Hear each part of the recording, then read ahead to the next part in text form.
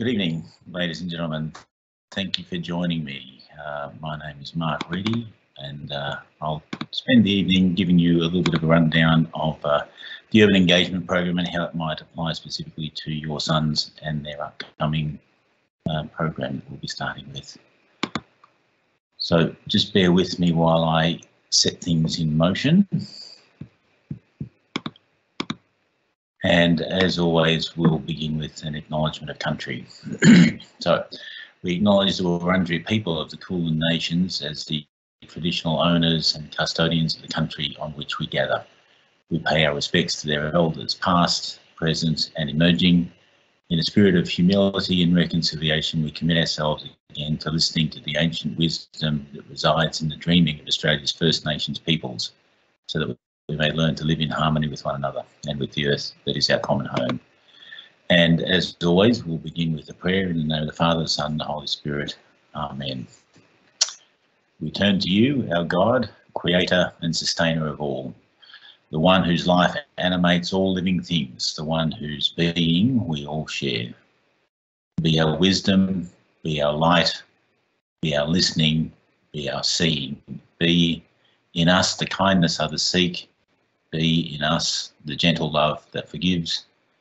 Be in us justice, peace, courage, creativity, and life. Be in us now and always. Amen. Saint Bernard of Clairvaux, pray for us. Live Jesus in our hearts forever. In the Father, the Son, and the Holy Spirit. Amen.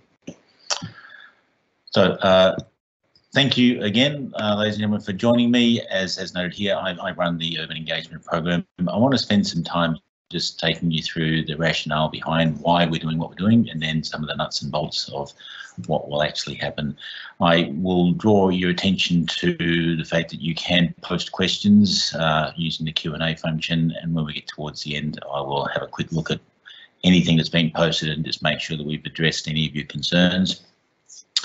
And so uh, let's let's uh, get started. So I'm sure you're aware of our uh, touchstones that we we as an ERA EREA college uh, run our our our functions by.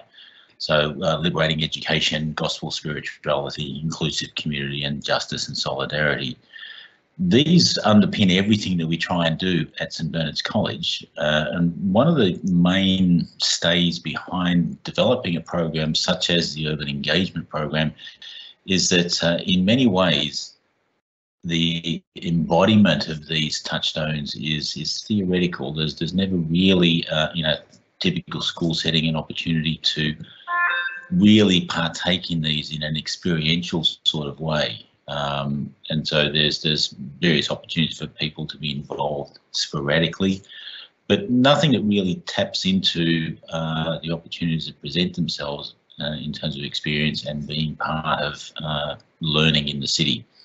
And so that's part of the reason why we've developed our urban engagement program. The other thing, of course, which is very much, very, I hope, very familiar to you, is our college crest and our, our motto, Discere et Agere, to learn and to do. Um, and in developing the program, what we're really after is for the boys to learn by doing and being actively involved in their own learning.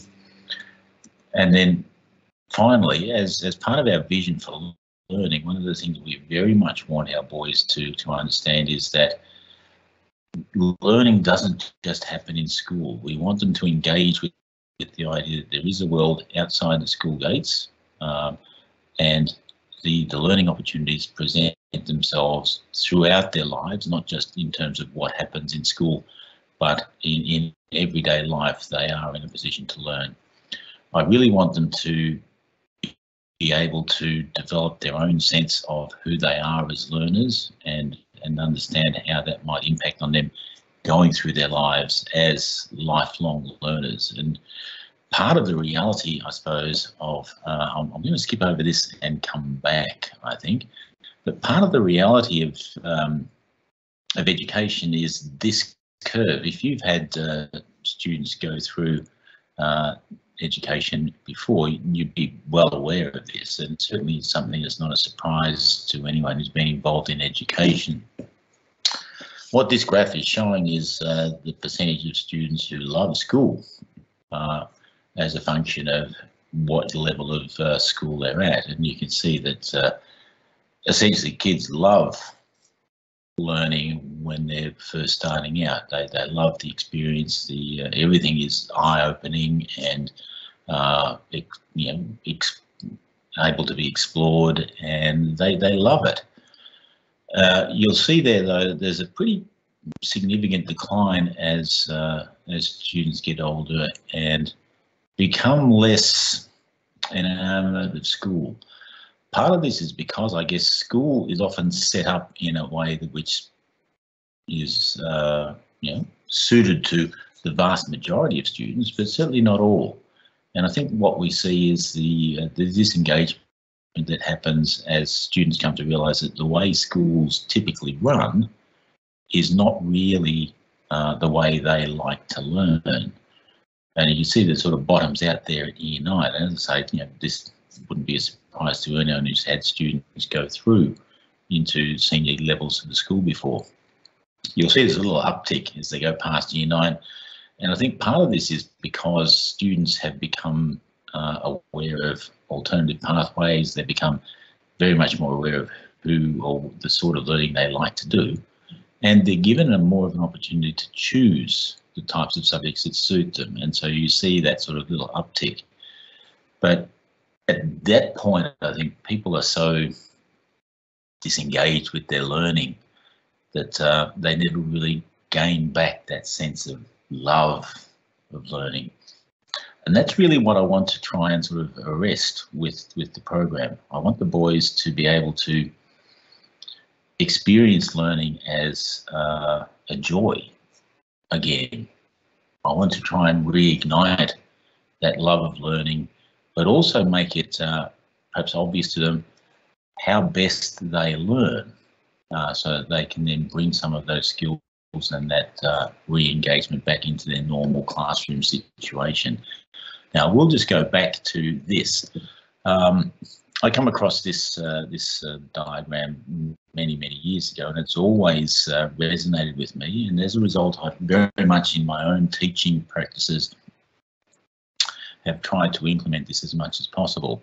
So my my modus operandi is to talk as little as possible. Well you wouldn't think so, given the way I'm rabbiting on tonight. But um, what this is showing, of course, is the uh, the amount of knowledge that students will retain depending on the sort of teaching methods they're exposed to. And you can see there that you know lecturing is is very very minimal in terms of how much students will retain simply because they're not engaged in uh, in actively learning. They're just sitting there um, and hopefully absorbing at least some of this.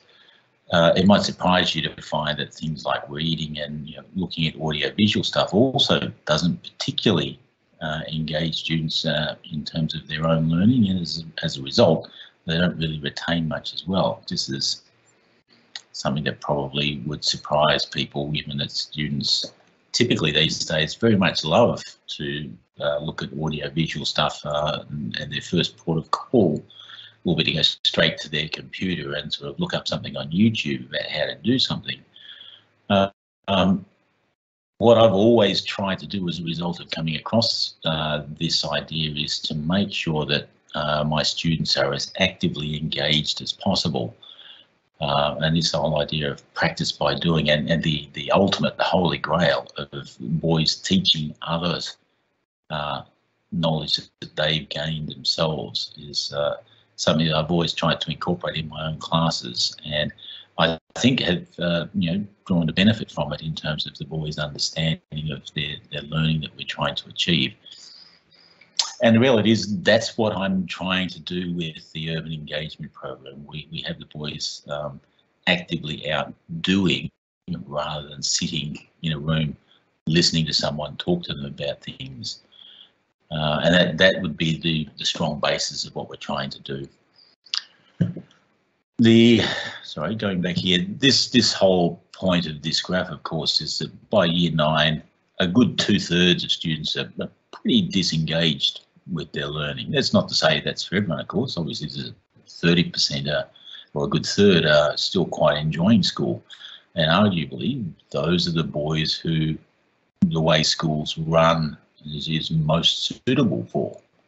And the remainder are sort of just there because they're required to be there and not particularly enjoying it. That graph, of course, represents something we've known for, for many, many years, that, you know, a quarter of a century at least. And uh, so year nine is a time of transition. And this idea was really the impetus behind our development of the original Santa Monica program, the idea that we wanted to take the boys out of their normal learning take them away from their families and work in community a long way away with the idea that they are forced to work together. Um, they don't have parents around to help them out, so they're, they're reliant on their community of uh, fellow students to really be able to, to achieve what they need to. And this this bridge to adulthood is something that happens in many, many societies where, where young uh, adolescents are taken away and introduced to the idea of being adult, go through a process, and then come back as adults. Um, and, and that's really the aim of the Santa Monica program. One of the things that's really uh, been driven home to me through my many years at St Bernard's is that when we talk to the year 12s, invariably they refer back to the Santa Monica program as you know a, a seminal experience for them. It, it, was hugely influential, possibly not even at the time that it was going on, but as they've got older and they've reflected back, they they've realised how important it was for them to be part of that experience. The reality is, of course, that um, it's it's it's four weeks in in year nine, and uh, as such an isolated experience. And so we wanted to sort of try and tap into that a bit more, but uh, extend the experience a little bit.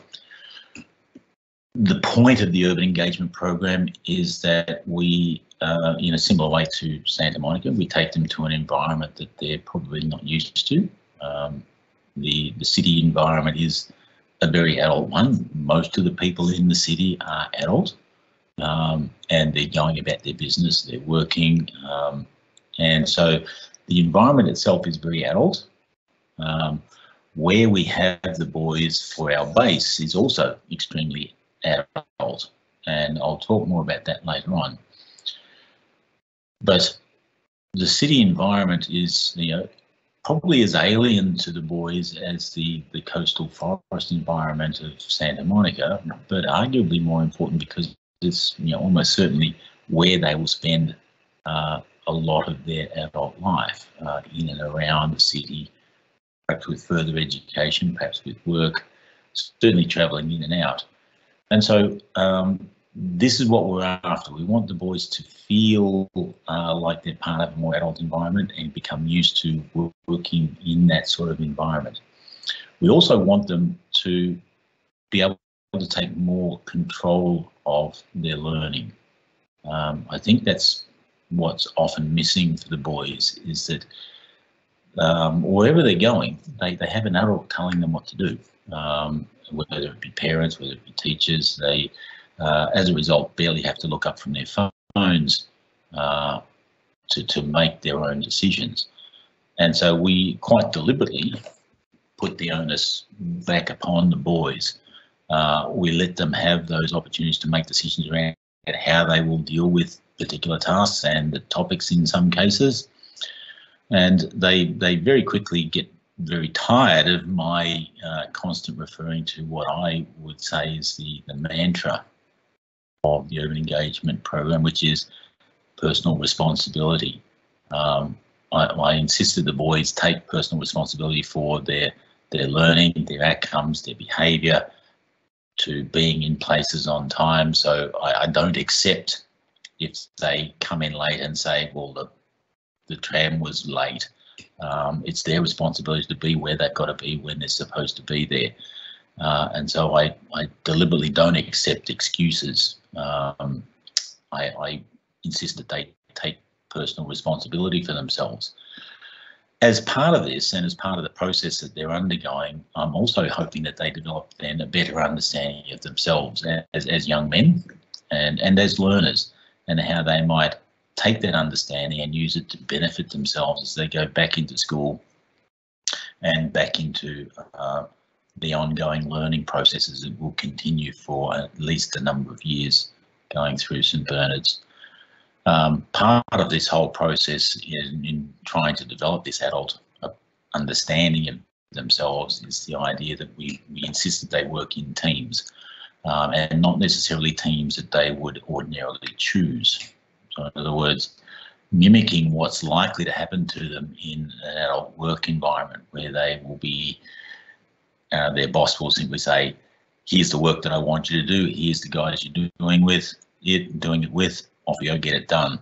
And, and the opportunity to develop the skills to be able to do that uh, and to work with people who uh, they perhaps wouldn't ordinarily choose to work with, but are required to, and even the, the opportunity to recognise the different sort of skill sets that different people bring to a, a particular task and how to tap into those. Um, this is something we, we tend to expect that as, as humans we, we can do this automatically, but it's something that the, the boys need to be uh, taught and it, it forms part of the deliberate scaffolding of what we do when we're in the city. Um, I'd like to take a few uh, moments now just to talk about week by week what will happen so you get some sense of what's going on. I hope you've had an opportunity to read the uh, the documentation that's been sent home, which sort of gives a little bit more of an overview of well as well as, uh, as what goes on.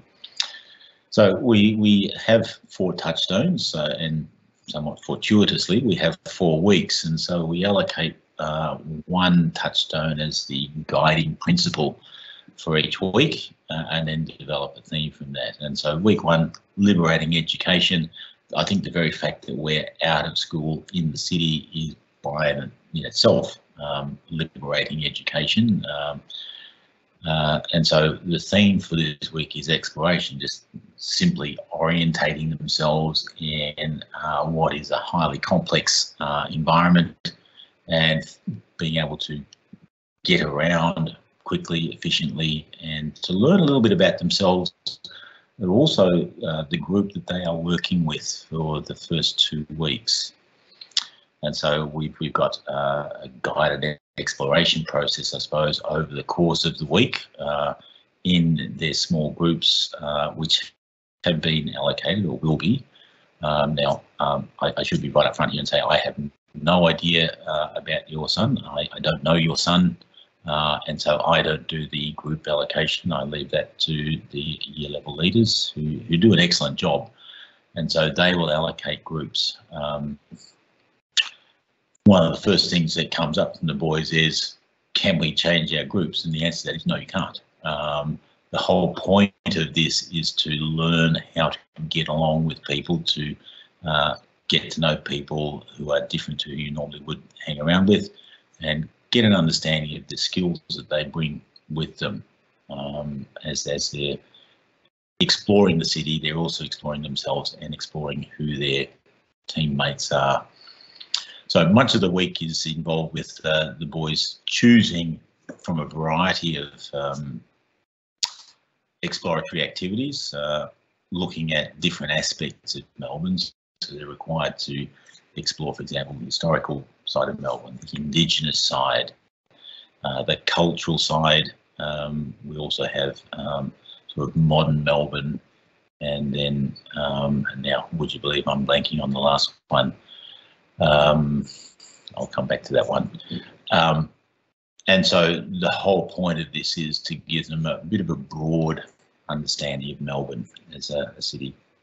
Um, we do have uh, currently one class excursion uh, which sort of taps into this and it's sort of more about the history of Melbourne where we go to the Melbourne Museum as a class um, and look at uh, the Melbourne story so you get a sense of how Melbourne has developed. And uh, towards the end of uh, the first week, we also introduced them to their task for week two, which is to look at, uh, we've called it here the big question, but it's really looking at issues uh, that uh, are related to living in the uh, central business district. Uh, and that will be done in their current allocated groups and will need to be completed by the end of week two. I'll talk more about the assessment as we go further along. When we move into week two, we, we shift to our second touchstone, gospel spirituality, and from this we've extracted the theme of giving. Um, there's uh, now no longer the boys exploring. Uh, it's now a focus on them working as a team to uh, answer their their big question and come up with a uh, a brief uh, description of what it is. Uh, talking to um, expert consultants, they have to find stakeholders, they need to create public surveys, they need to delve into the history of the issue, and then uh, provide their own point of view and potential solutions to the, the problems that they've encountered. Um, and at the end of the week, they will have created a display board which they will share with you at our final uh, final family evening on the last day of the program. As well as this, as this we have uh, three typical whole class excursions. We go to the Shrine of Remembrance, which I, I, absolutely love going to, and I think the the boys do as well. It's it's it's awe-inspiring, but it's also a reminder of uh, the the heartache and sorrow that comes from conflict. Um, and as, as I will often say in communication with uh, with each group throughout the year, the what's going on in the Ukraine at the moment sort of makes that even more poignant um, at, at, this moment. We also uh, take a, a, really good look, I think, at uh, something which you know is is in the boys' face from the basically the first day they step off the train uh, into the Sydney Central Business District, and that is the the whole um, homelessness issue. It's very much there, right in front of them, pretty much everywhere they look. And so uh, I think the opportunity to sort of delve into some of the misconceptions around homelessness, uh, how it's caused, and what can be done to to resolve it is really important for the boys and their understanding of some of the issues that come out, of this. So we we talked to uh, City Mission, uh, the front yard organisation. They uh, particularly deal with youth homelessness. And then uh, we also talked to the big issue publishers who are working with long-term homeless people to provide uh, a way of integrating them back into society and the tremendous work that they do there as well. So by the end of week two, they should have completed their first uh, group task. When we move into week three, uh, our touchstone is justice and solidarity, and from this we've extracted the, the theme of sustainability. And again, there are three whole class excursions that sort of tap into this. Uh, and again, this is one of the issues that they will notice as they're going around the city is that uh, the idea of pollution and rubbish and, and waste is, is very much uh, in front of them as well. And so they get an opportunity to sort of delve into ways in which this can be um, combated personally and also what's happening around the city in terms of dealing with this. Week three also sees the boys move into their second group assessment task. This is a passion project. Uh, and again, I'll talk more about exactly what that entails later on. But they have two weeks to work on this and this time, uh, very excitedly, I, I, think they, they are able to select their own groups. Um, it, it's interesting to allow the boys at the end of the four weeks to reflect back on how the two different groups they've been in have worked. Um, often what we do find is that um, those allocated groups tend to actually work more cohesively than the groups where they select themselves. And that doesn't mean that they, the self-selected groups don't get on well, but often they find it difficult to complete work quickly and efficiently because as friends they're used to taking liberties, whereas if they're not friends, it's easier to call people to account. And so it's often a, a an eye-opening reflection for them to realise that uh, sometimes allocated groups are actually a better option because it divorces them from the need to call out their friends who are not completing what they are supposed to do and they're, they're not being responsible. So it's something for them to just reflect on as they move into uh, the more senior years where often group work is a, a big part of what they do. Our final week, uh, uh, the, the, touchstone for this is inclusive community, and uh, the obvious one from this would be uh, the idea of culture, multicultural, how our own culture and background creates our identity and um, influences the way in which we interact with the world. Um, so again, whole class excursions picking up this theme. Um, we we attend the Jewish Museum now. I would point out here, not the Holocaust Museum, uh, which is a very specific sort of uh, period, which is horrific. But what we're really aiming for here is uh, for the boys to get a better understanding of Jewish culture and, and the way the Jewish religion plays out in, in the lives of Jewish people. It's uh, something that's uh, completely alien to the boys. Uh, I think they don't realise that there's a completely separate language, there's a completely separate uh, approach to life that is is there alongside us. And uh, the, the rise of uh, anti-Semitism that we've been seeing lately, I think is really, really important.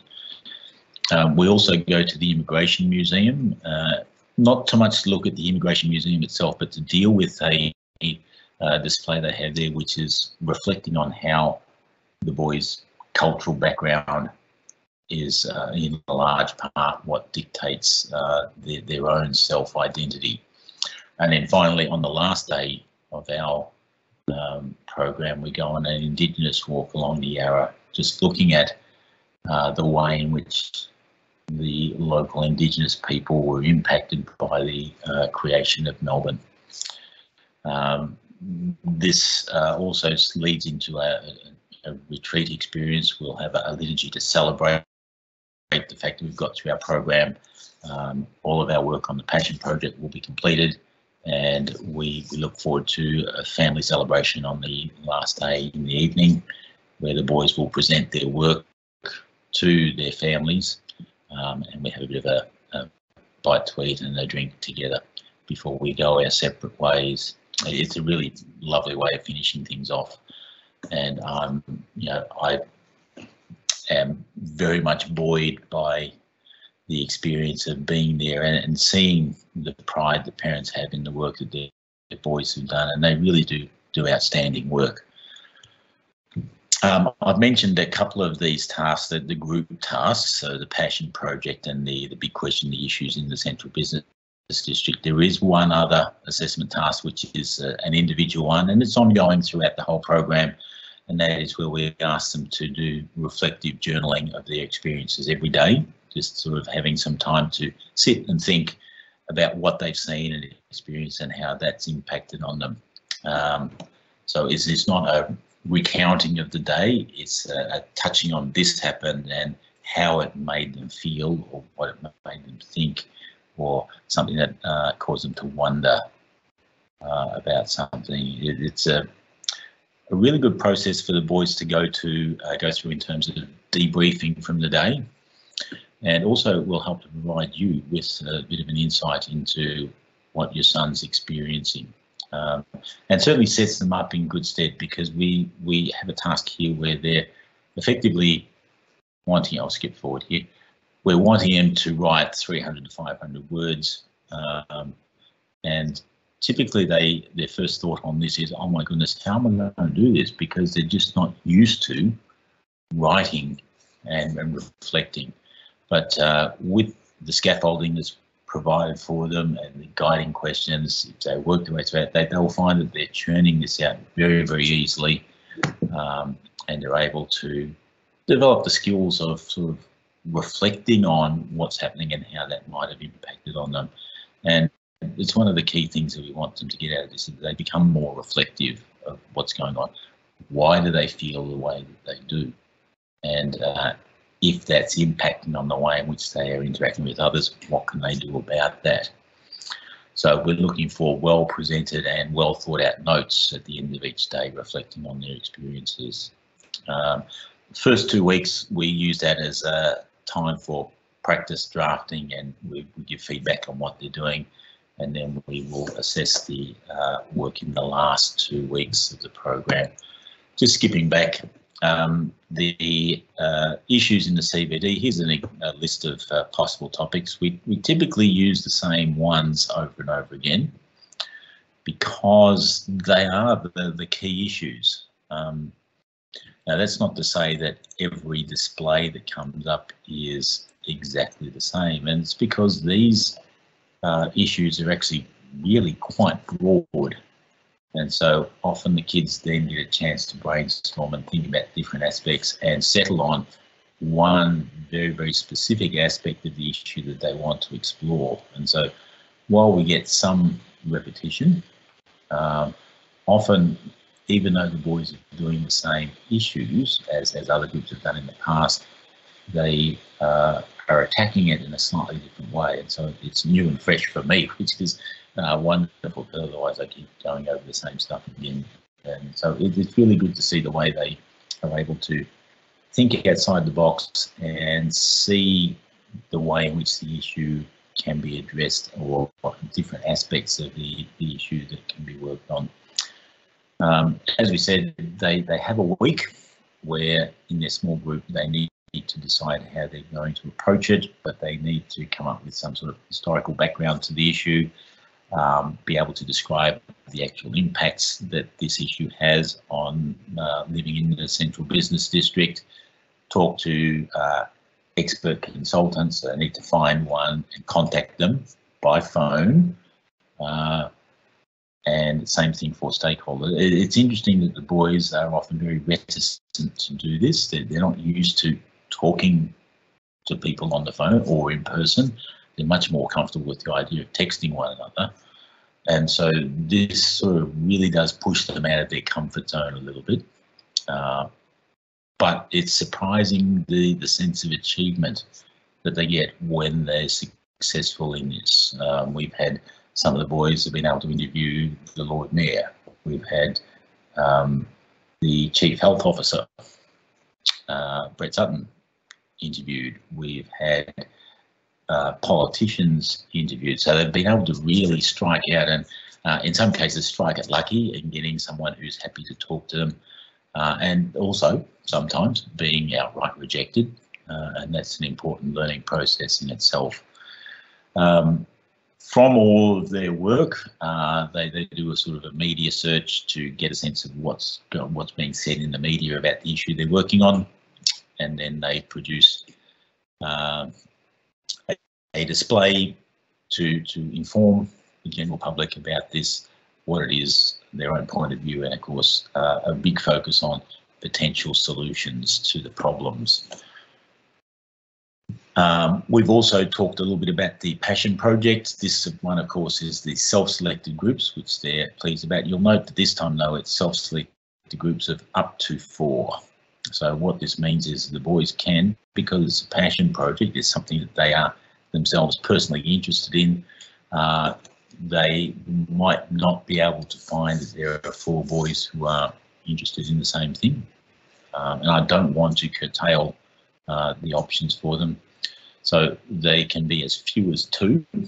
Uh, we won't let anyone work on something like this on their own, but as few as two and as many as four, so two, three or four students uh, almost invariably we have someone who comes up and says, can we have five? And the answer to that is no, they may not. Because essentially the bigger the group, the more opportunities for one person or two people to do very little, sit back and watch others do it um, rather than be directly and heavily involved. I want to make sure that they all actually get the experience of being involved in, in these projects the boys are asked to choose sort of one aspect of uh, Melbourne. So again, very, very broad and open-ended um, you know, requirements in terms of uh, so environmental, um, criminal underground, uh, historical, sporting, cultural, musical.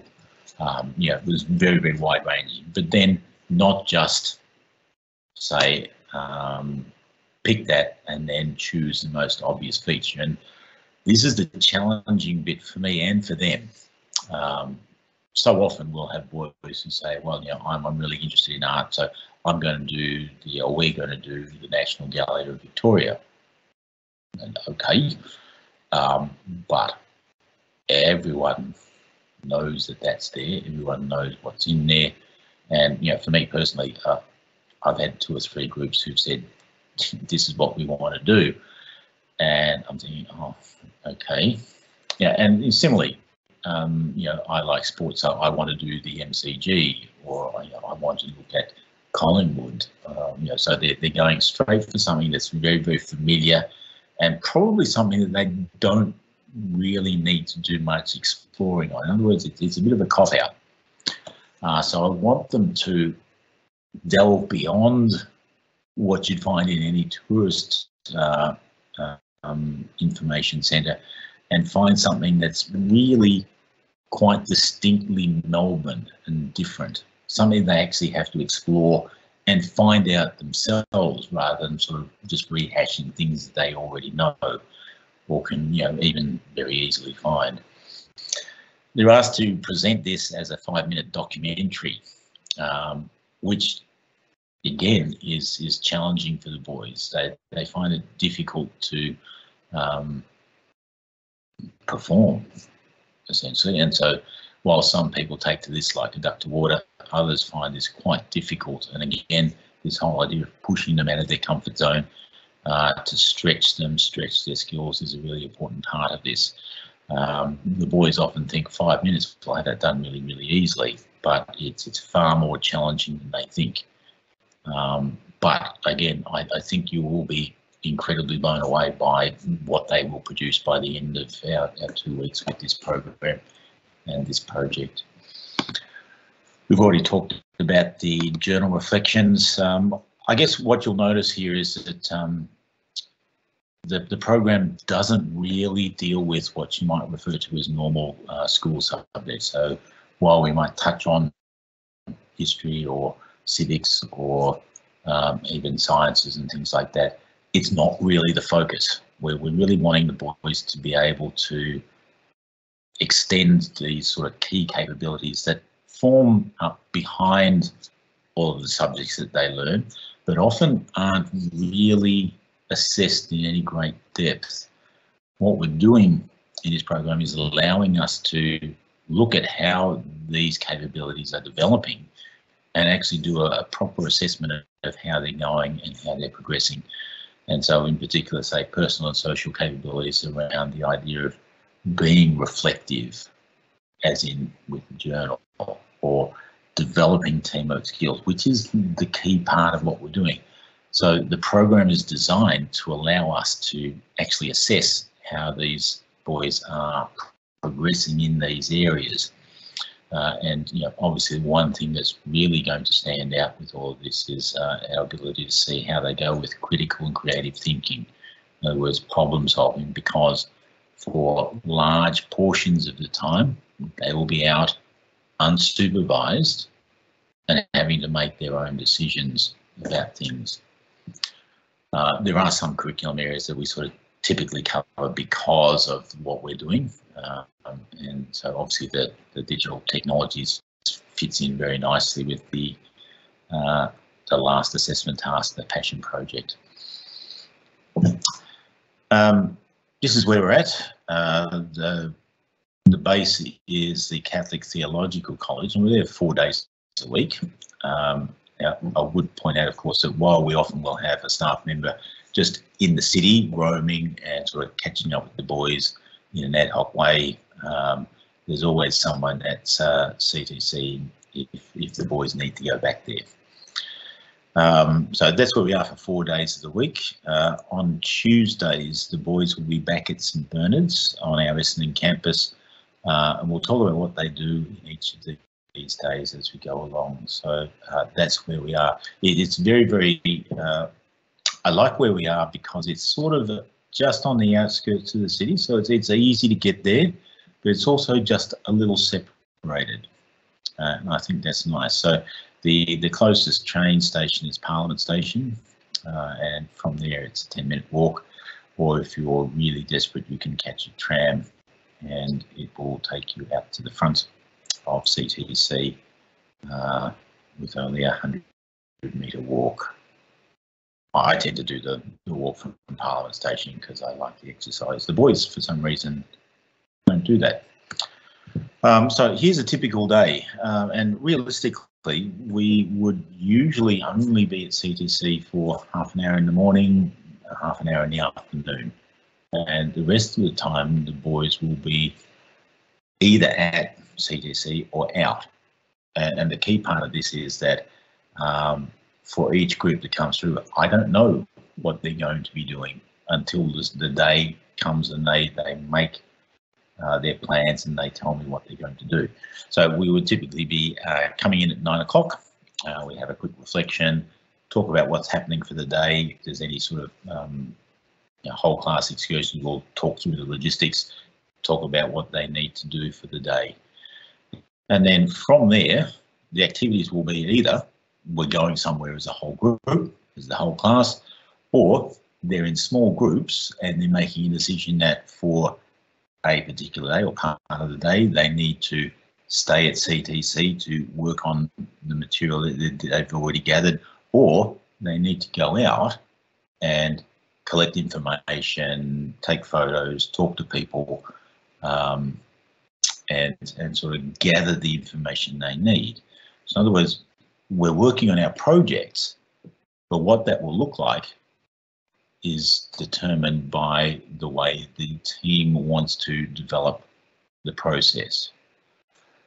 Um, and so this is really the biggest difference that the boys, of course, notice is that it's not me telling them this is what you will do. It, it really comes down to them as a group looking at what needs to be done, allocating tasks and deciding how they're going to approach it. Um, again, they're not used to this. Uh, it takes a while for them to get used to the whole idea that they have to make the decision, and again, they have to be personally responsible for the outcomes that come from that. Uh, we invariably have the boys back all on site uh, by around 2.30 where we will do a little bit of a debrief and look what we're going on there. And they'll then think about their journal writing for the evening. Uh, we'll often talk about what's going to be happening on the next day that we uh, uh, are on site and then we'll, we'll work from there. So that's a typical day. On Tuesdays, however, um, because we don't want the boys to have to choose between uh, being involved in the program and continuing to represent the school in ACC, we, we have the boys at St Bernard's, you know, the Essendon campus for the day on Tuesdays. Um, this actually gives us a really important opportunity um, one of the things that I'm very much uh, wanting the boys to have is an understanding of uh, financial maths. They, they'll be getting to the point where they will be wanting to have a job, a part-time job, and getting some understanding of the idea of um, you know, normal rates versus penalty rates and overtime. The idea of you make a salary and a wage. Um, the idea of how to deal with credit uh, before they get to 18 and get their wonderful present from a bank which says, here's a free credit card, understanding what credit uh, actually means. Um, in particular, I am very much wanting to get them to avoid this whole idea that if we can't afford it now, let's just nimble it. Um, the, the whole idea that you know, there's a fluffy bunny that will lend you money and I really want them to understand that if they do that, it won't be the fluffy bunny that comes to the door wanting the money back. Um, and they can get themselves into um, you know, significant financial difficulties by not understanding how this whole process works. Um, and that uh, I think a really important um, concept for them to come across. The other thing which this time allows us to do, though, is also look at uh, the careers curriculum, especially designed to get them to be better prepared to think about how they want to organise their educational pathways in year 11 and 12. Um, I know though uh, boys will have completed their subject selections uh, at this point and, and in some ways have already started to think about pathways. But the whole point of this is to get them to really consider who they are and delve a little bit more with your help uh, into the sort of learner they are, uh, feeding on the stuff that we're doing in the program so that they're able to make really considered decisions about what they want to do as they move through the school. Okay, some more nuts and bolts then. Things that uh, they really need to have with them um, when they come into the program. Uh, they need to bring their laptop with them. Um, it, it's probably important they don't uh, think that they're going to carry it around everywhere. I want the boys to be thinking more about uh, life as uh, perhaps similar to a university. We travel light. Uh, we don't take more than we need to because they'll be moving around a lot. So laptop is important, but uh, we, we leave that at the base. It'll be locked up and secure, and they can then use that when they come back in. They really do need a mobile phone, and I, I know that most of them will have that. But if if there are any students who don't, it's really important that we are able to communicate and they will also typically use their mobile phones as a camera for recording things that uh, they're they're encountering as they go along. Um, so the boys uh, will share their phone number with me uh, and uh, I will share my school mobile phone number with them uh, so that they are able to contact me and I am able to contact them. And this is a critical part of our uh, means of ensuring their safety is that there's constant communication backwards and forwards. Um, they should bring a clipboard with them and paper and pens and pencils and things like that. I've got a note here, some money or a debit card. I notice most of the kids tend to have a debit card. Um, some of them have cash. Um, hopefully, if they have cash, they're not bringing too much and also sort of not be expecting to, to spend a lot of money in the city. One thing that is really important is that they, they must have a Myki card and it, it needs to be active and topped up. And um, I will be talking to all of the boys tomorrow uh, during period two. And one of the things we'll talk about is the idea that uh, often boys who don't use public transport a lot don't really understand how this works. But if you don't swipe on uh, with your Myki card at, for example, Essendon Station, when you get into the city stations, you can't get out. Uh, because it registers that you haven't actually paid. And typically there is also then a long line of a little group of authorised officers waiting to scoop people up and uh, take details and issue fines. So it's really important they understand this whole idea that it is a swipe on, swipe off idea. The other thing I would uh, say to the boys and to you is that uh, you know we're, we're spring is uh, about to be sprung. It's going to be sort of warmer but uh, it's also probably typical that it'll be wilder weather. So pay attention to the weather.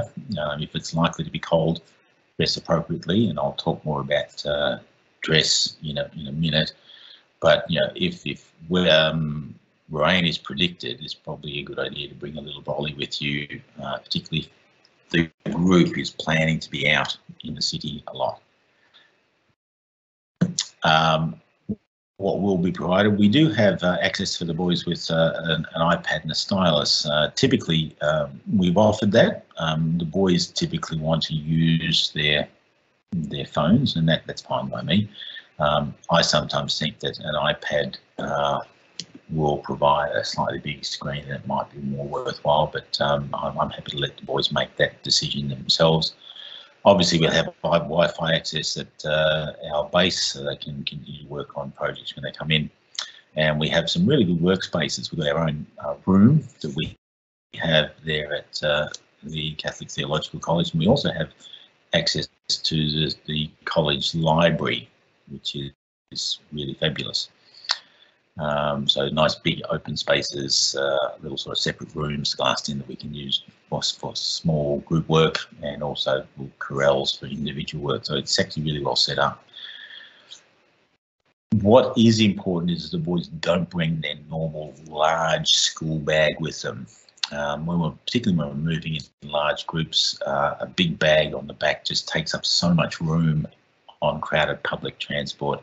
So a small sort of day pack, perhaps similar to one that they might have had at uh, Santa Monica, would be really good. And um, yeah, they shouldn't really bring anything that's valuable that could be lost if it's not needed for the program. There's there's no reason to have it with them. Okay, so attendance. Um, we'll have the boys signing in as they come in and whenever they return to base, whenever they're going out uh, unsupervised, they're going to need to fill in a form which will say who's going, where are they going to, who are they going to be interacting with, how they're getting there, when they expect to return. And our typical process then is for them to send me a group selfie when they get there. Uh, so that I can see that they they have arrived safely and they're all still together. And then typically we'll have them send group selfies every sort of hour or so, just so we can still keep that contact with them and see that things are going well. Um, it's really important for the boys to understand that you know we won't let them leave on their own during the day. They they can't go out by themselves. Um, sometimes they'll be sent out to get some lunch uh, and in this, in this case, we expect them to go together. Um, and certainly if there's sort of one person going, they can't go on their own, they have to go with someone else. Um, and so this, uh, we, we know where they are, essentially. Um, students who are absent or late, we, we have the same expectations as if they're attending uh, the Essendon campus. Now, um, this is where things will sort of vary a little bit. Um, typically, what we'd find is uh, a boy's going to be sick or is going to be late, the parent will contact the school. And I'd, I'd like to uh, encourage that, of course. One of the difficulties that that presents for us, though, is that because we're so isolated from the school, it often takes a little while for that to filter through. So I'm then typically calling either the student or the parent to say, okay, you haven't arrived, what's going on?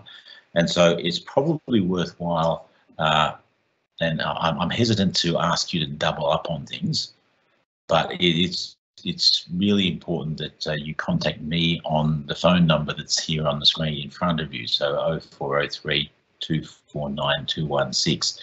That's my school mobile phone number.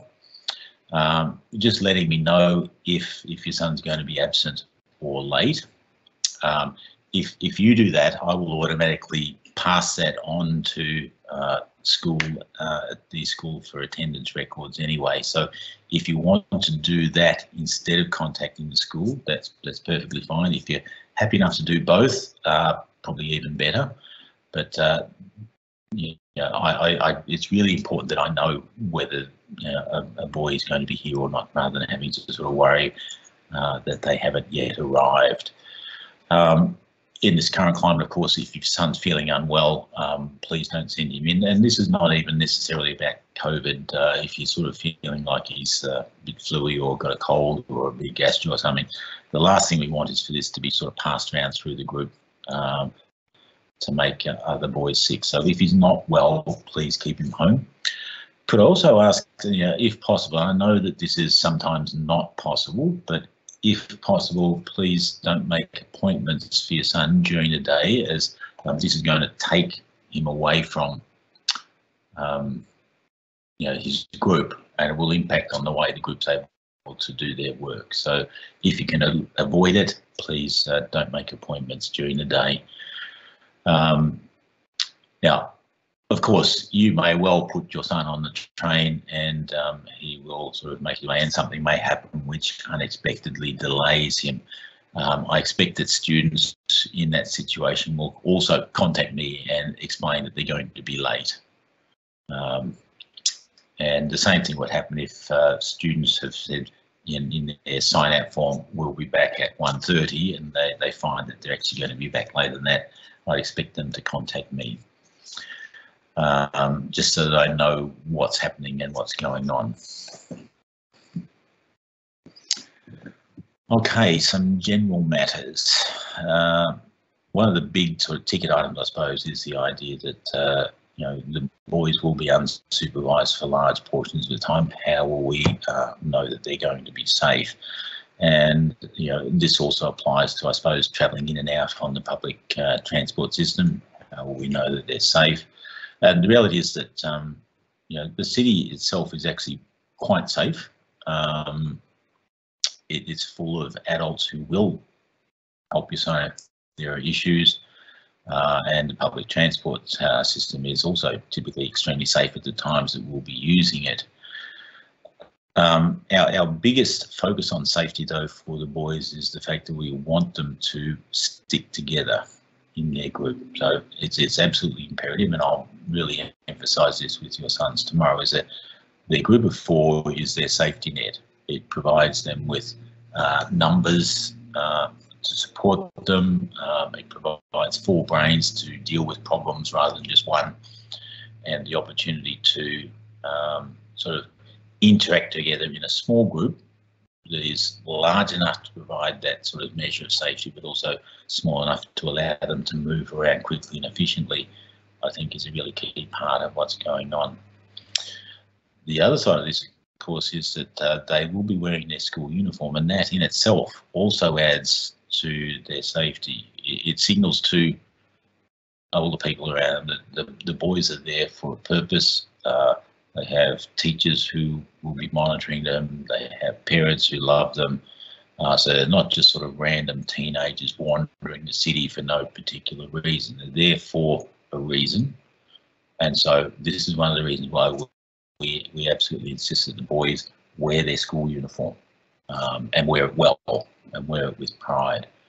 Um, we mentioned earlier about keeping an eye on the weather and if it's going to be cold, dress appropriately. And by that I mean, if it's going to be cold, then you put on layers.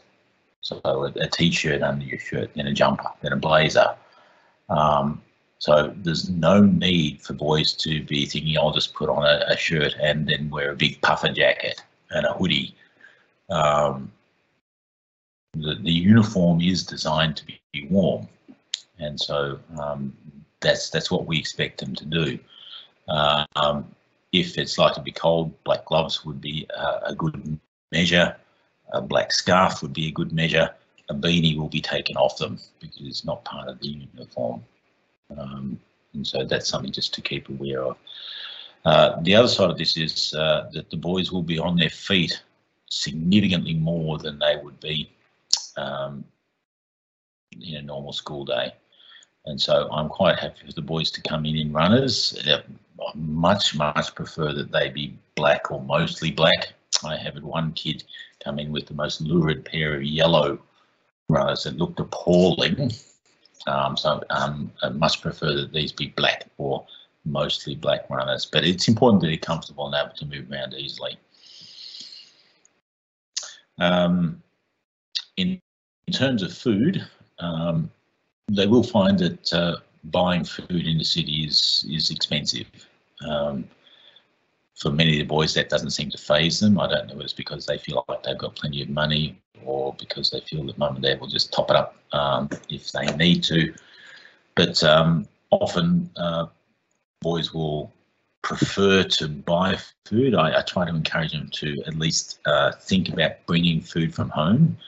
Um, but if they are buying food, I also try to encourage them to extend themselves out of their comfort zone and perhaps steer away from Macca's and KFC, you know, even Sushi Hub, and just you know, there are literally thousands of places to buy food in the city, um, and I I try to encourage them to at least explore different possibilities rather than just going back to the same old, same old.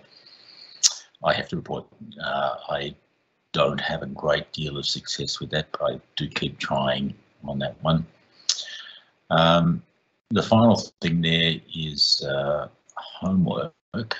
Um, and typically, I will not give the boys homework. Um, they they will be required to do their uh, journaling at home and sort of perhaps interact with you in the development of that, and then submit it before they will be allowed to go out the next day. So they have to have it done before they can leave CTC in the morning to go out in their group. And it means then that their group may be delayed if someone hasn't done it.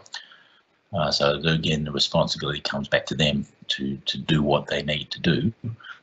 But other than that, um, it's my expectation that the, the group themselves will look at the work they have to do and make a decision that um, you know, something needs to be done in preparation for the next day and allocate who's going to do what and get it done. So the, the responsibility falls back on the boys to make those decisions for themselves. Um, and there's been some surprising outcomes of that. So students who have asked their parents, can they come back in, in on the weekend to complete some stuff that they didn't manage to get done. So real boys really starting to take control of um, the tasks that they've got to do, um, which is very uh, uplifting for me. Um, I mentioned I'm going to talk with your sons tomorrow. Um, and so this is, uh, we'll do a pre-program introduction where we'll talk through about uh, how to get in and out. Um, and I'll explain where they're going. Now, um, on the first day, um, I will uh, guarantee that I will be at Essendon Station on the Monday at 8.10 and I will travel in on the 817 train. And if there were boys who just happened to be there and happened to be on the same train as me, that would not bother me in the slightest. And so typically I have more or less most of the boys uh, on the same train with me. Um, after that, I really do sort of push it back to them and say, okay, you know how to get there now. It's up to you to, to find your way there. Um, and when we get there, we'll I'll, I'll conduct them to here. And this is what the uh, uh, Catholic Theological College front door looks like. And so typically we have the boys arrive and they can wait outside on the bench you can see there and we'll come and get them uh, at nine o'clock to come in. Um, but this is what it looks like. Um, just a reminder, face masks are still mandatory on public transport and so the boys should have a face mask and should be wearing it and we'll keep insisting on this, particularly when we're with them. And we would very much encourage them. I would like you to encourage them as well to to to keep doing this even when they're unsupervised. Um, it, it's it's easy to dismiss this as just uh, overreaction, but the reality is the tram lines that are right outside CTC service four or five different hospitals, and so a lot of the people who travel on those will be either sick themselves or going to visit people who are sick. And in that sense, it's really important that we are cognizant of the need for those people to be protected. We'll also go through tomorrow protocols and expectations uh, of what we expect of the boys, and mostly this is pretty much what we expect of them at St Bernard's uh, just in a normal school today, just standard behaviours. But there are a couple of sort of very particular ones that relate to the fact that we are in the city. Um, and so we'll go through that with the boys tomorrow. Um, how can you find out more? Um, hopefully the fact that you're listening to me now means that you've seen obviously my email to you inviting you to this and attached to that was uh, a copy of the Urban Engagement Handbook risk assessment uh, that we do when we monitor every program to check that it's still valid. And I also sent a typical program outline so you get some idea of what we do. Um, you will also, uh, I was, uh, as part of my discussion with the boys tomorrow, I will send home with them a consent form which will ask you to specifically consent to the idea that your son will be uh, in, in many ways unsupervised for large portions of time. Um, it's it's uh, something that's so significantly different to what we would normally do on excursions that uh, uh, we've been asked to have this as a separate form apart from the usual SynWeb permissions that you will give for any other normal excursion. That will also be coming and will be out later on this week. Ask you to give your formal approval for being involved with the um, urban engagement program, but we will ask that you complete the separate consent form as well.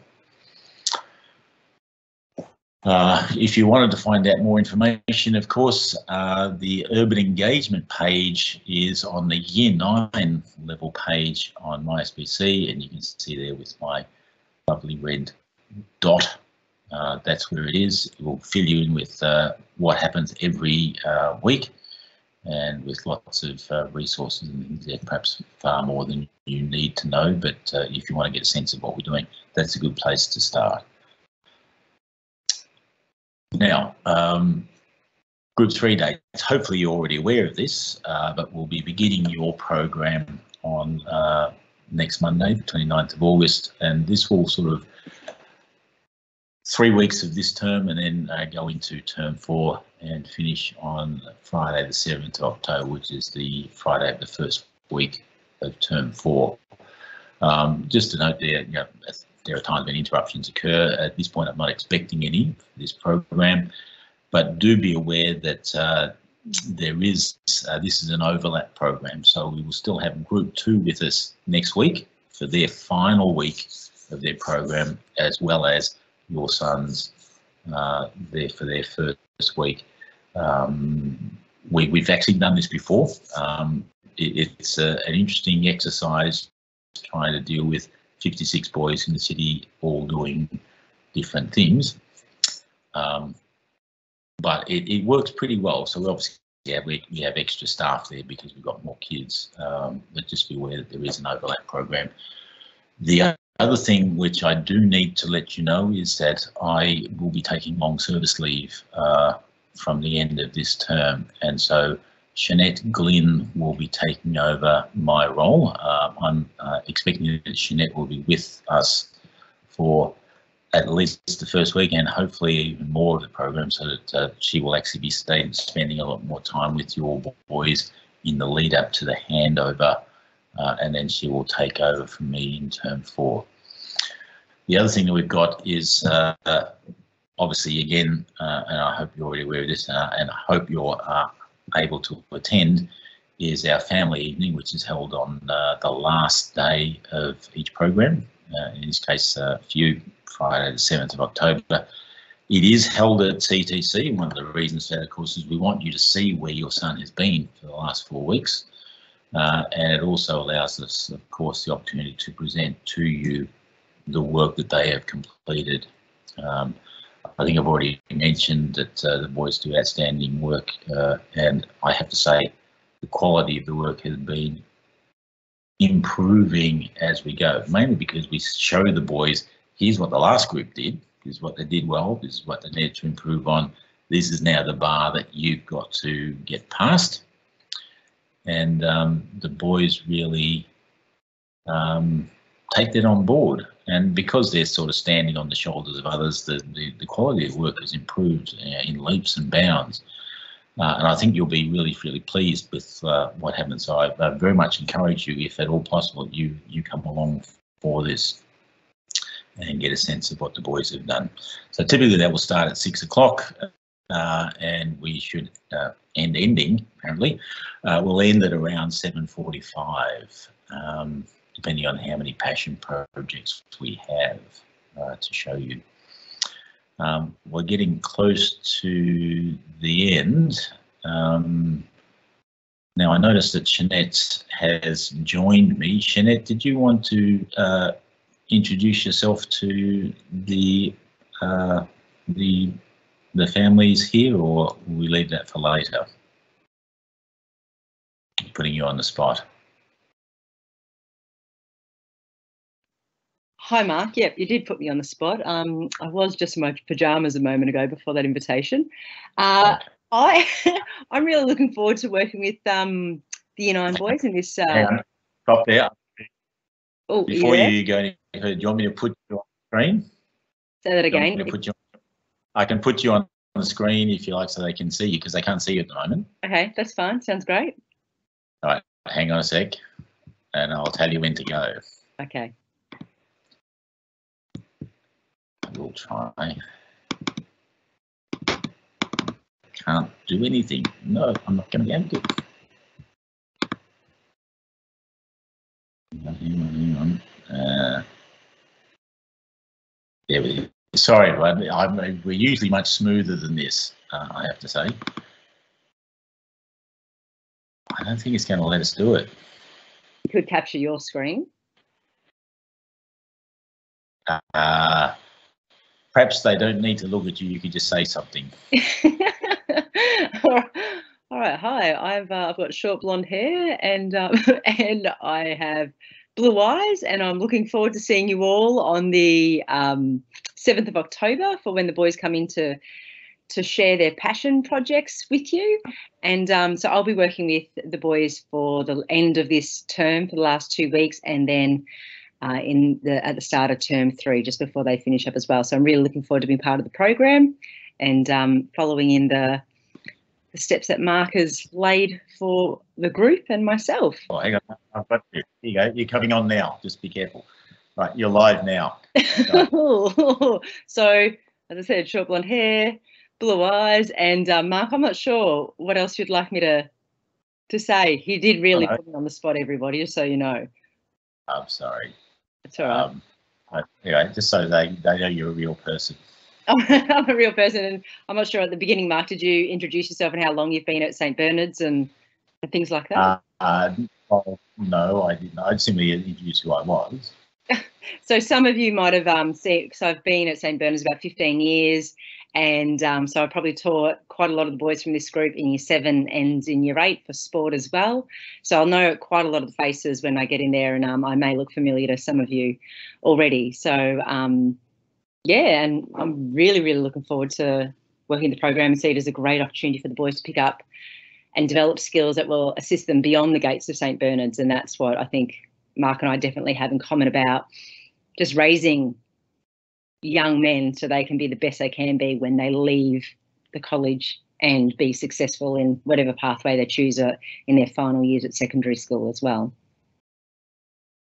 And that's all I've got, Mark. Okay, no, that's good. I'm going to take it back now. okay. Um, thanks, Shags. I am sorry to put you on the spot, but I thought it's a gold opportunity when you just popped up there. that i can throw you at the deep end.